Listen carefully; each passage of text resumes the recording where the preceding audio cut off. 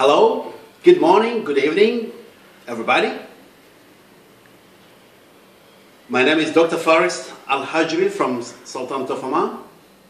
I provide you a short video clip, a short description about hot water therapy and its relation to hydrological cycle of water, the water cycle, and how this interpersonal relation between our beautiful earth planet and the human being correspond to each other in building human civilization, peace, harmony between people in different culture, different uh, mentality, different approach, and so on.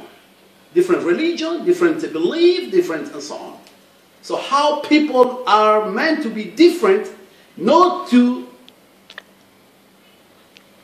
be enemy from each other, but to learn from each other and to interchange knowledge and intelligence and so on and, and many other benefits. Now, what is first hydrological cycle of water? Everybody knows.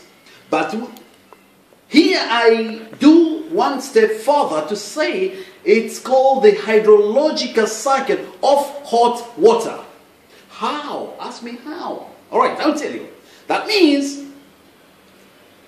Everybody knows that when the sun, light, ultraviolet, comes on the surface of the oceans and the lakes, it causes this water on the surface to heat up and because the steam, the water vapor,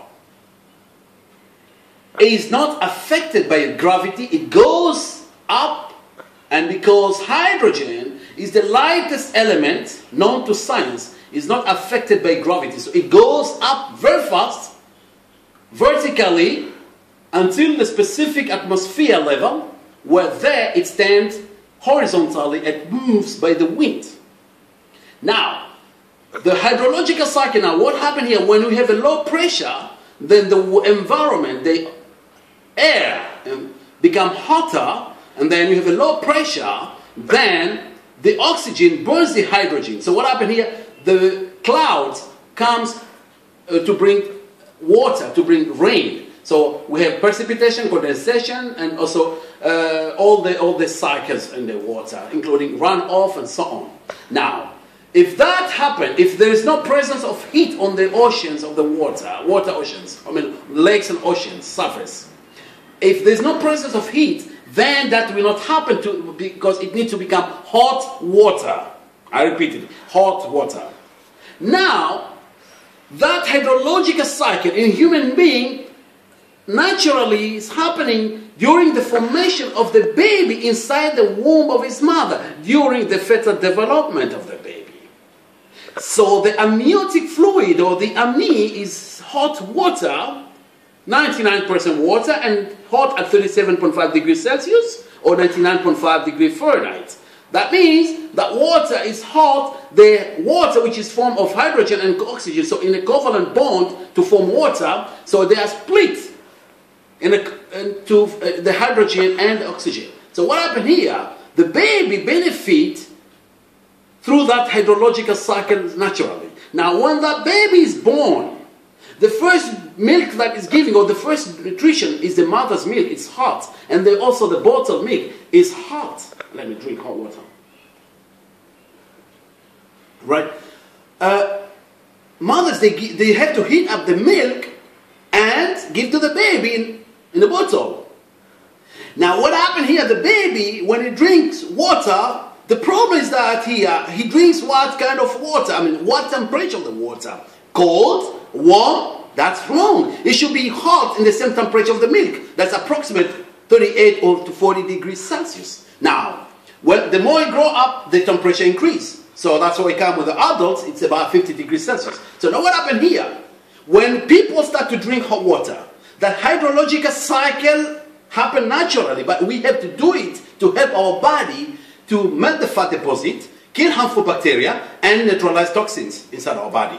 So that what happened, we discharge the waste, all the waste disposal, and uh, with this, our body, our cells become to reproduce. And uh, now, what happened is uh, the secret here, a very interesting issue here, is that you find that the human being, the presence of water in our body is 75%.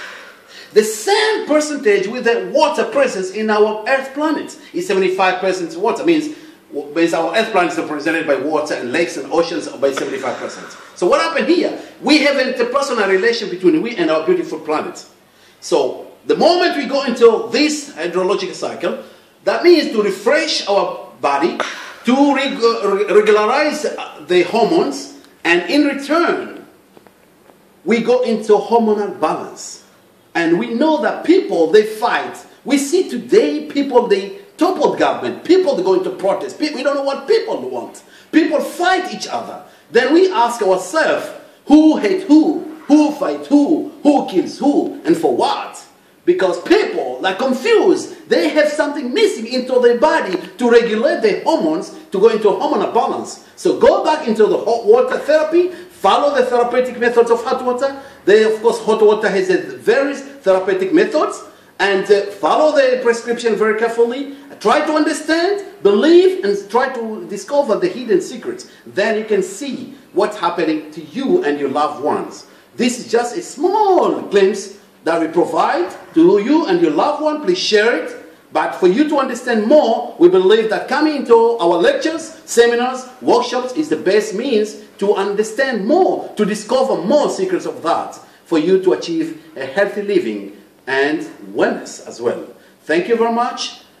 I wish you a good, healthy living. I wish for all you, all of you, and your loved ones to benefit from this uh, new scientific discovery of the miracle and wonders of treatment from hot water. Thank you much.